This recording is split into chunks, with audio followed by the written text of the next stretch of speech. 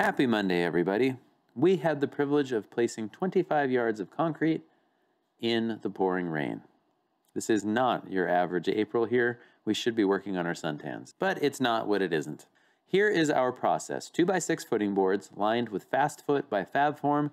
Perfect. No spill out. You might be worried about water, but we just push the water around. It comes out the seams. Periodically, I'll make a slice. This is a six sack 60-40 line pump mix with fly ash NP, and it will test 3000 psi. We pour it at a 5 inch slump. Look at those bags hold perfectly. Last week you saw how we installed those vertical rebar using the Steelmate.